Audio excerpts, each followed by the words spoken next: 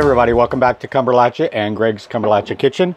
Today is the first day you guys get to see the full setup of my new layout in the mini cabin we have here. Have a nice new bench here for us to work on.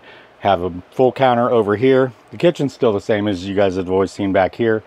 And then we've got the uh, Berkey, I always forget what it's called, the Berkey water filter that I put my Jesus water in that y'all have seen me get enough of. And what we did is basically took out the wall over here in the cabin and or in the camper and added on another room. So we actually have a little living room here with a day bed over there, front door in the front, TV and a fireplace. Got that all set up. We did move the refrigerator over because we didn't need to use that door anymore to get out of the camper.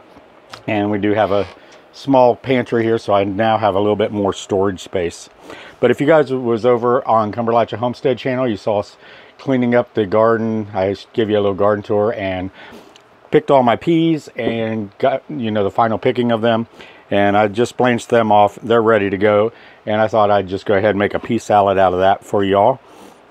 It's real simple. As you can see, it's got about six ingredients and that's all there is. I've already got about four cups of the peas in here and they're nice bright green because I just blanched them when you get fresh peas, it's a really good idea to do that. It's just blanching, just putting them in boiling water for two or three minutes.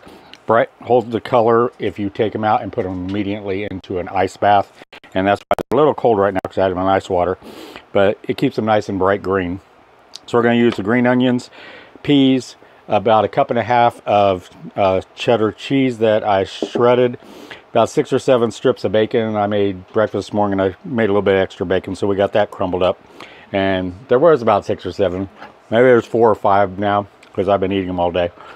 And some mayonnaise or miracle whip whichever you'd like and sugar and a little bit of salt. So to the uh, um, peas I'm just going to chop up or dice up a little bit of this onion. I'm not going to use the greens. I'm going to save the greens because I'm going to be making cornbread and beans this week and I like to have the greens in my cornbread and beans. So I'm just going to take it to there. We'll set those aside. And I'm going to give them a little bit more chop here, just to make them a little bit smaller. Whoops, and one onion on the floor. Brody's probably going to get that, which I'll try to get it before he does. He's over there sleeping. Speaking of Brody, about two weeks, three weeks ago, we were outside and he came in. Anytime he comes in, he always gets a treat. And that's before we had the wood floor down. And he slid on the wood floor and hurt his hip a little bit. Now remember, he's 15 years old. So took him to the vet and she checked him out. She sits down on the floor with him. She couldn't believe he was 15 years old, but he was, you know, real weak and trying not to walk because he was in so much pain. And she goes, is he always like this? This, you know, active? And I'm like, this isn't active. This is nothing. So while she's on the floor checking him out, I said, well, here, let me show you a video I did a couple weeks ago of him. And I showed her, and I'll show you this video right here. He was running back to the cabin from going back and seeing the quail. And she just looked at me and she was, okay, he shouldn't be doing that, but how is he in the winter with his arthritis? I said, he didn't really have any problem at all in the winter. So I showed her this video of him playing in the snow. And she just sat there and shook her head and she looked up at me and she goes, Mr. Greg, your dog is broken. And I panicked because she was feeling his back legs then. I thought maybe he had a broken hip or broken leg. I said, what do you mean broken? Broken leg? And she goes, no, he's broken. She goes, from here up, he's two years old, but from here down, he's as old as you are, and he should not be doing that. So they now have him on arthritis medicine, some pain medicine. He's still trying to run and jump. She told me I need to put him on a leash when I take him out, and I try to but it doesn't work very often. So, okay, let me add the cheese in here. Got a cup and a half of cheese. So Brody's over there taking it easy. He gets a little spaced out when I give him some of his medicine. The other, the pain medicine, he just thinks he's two years old again. He takes off. So there's our bacon, our cheese, our peas, and our onion. Can set this stuff over here aside. And I'm going to get something to stir with because first I need about a cup and a half of mayo out or Miracle Whip, whatever you like. And you may, it just depending on temperature outside, humidity, the peas, uh, if you let them sit and dry after you blanched them. I didn't really let mine sit too long, so there may be a little bit of moisture in there. So it just depends on that. how much you're going to need. But you can adjust to taste how creamy you like yours. And then to get about a teaspoon and a half of sugar. Hmm, maybe a little bit more. There we go. Get this stuff out of the way. And I'm not sure that, no, this spatula is not going to do it. We're going to need a wooden spoon. So let's get a wooden spoon out here. Clean this off. I remember growing up, mom made this all the time in the summer. Usually had a bowl of it in the refrigerator.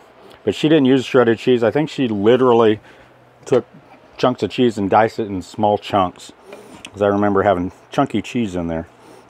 But I like the shredded because it's easier. Let me get this in. Like I said, you may need a little bit more mayonnaise, and I think I'm going to. Yep, we got overboard onion. Yeah, let me get a little bit more mayonnaise in here.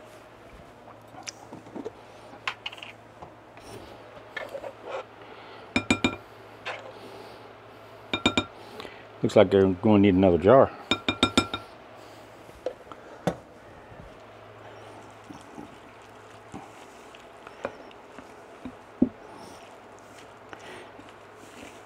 trying to be gentle because I don't want to crush my peas. I just grew these things. So first, first things out of my garden this year, except for herbs. I've got herbs over in the window over there, dehydrating and drying out. Made the camper smell really good the first couple days. Yeah, I'm going to need just a little bit more. I think I had more than four cups of peas in there. That was my problem. I underestimated.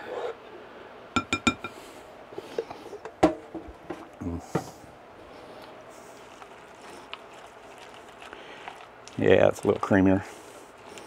And you can serve this this great with a barbecue, and fried chicken, broiled chicken, anything. Just a nice, cool summer salad, and my bacon and my onions are popping out there. Wipe my hands off.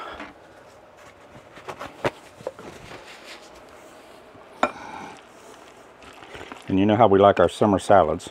This is even be good with the tomato sandwich. I just had one of those the other day. So there we go just that quick.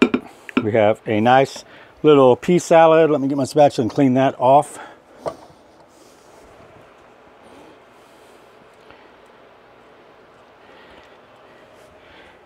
And you know I'm going to reach down here and get my dried herbs that mom did because we got to make it pretty.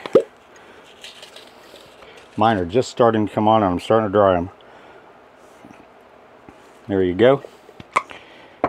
And we're not going to miss tasting this.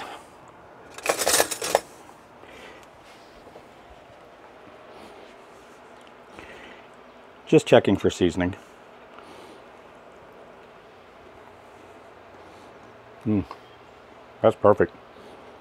Just a sweet, enough sweetness from the sugar.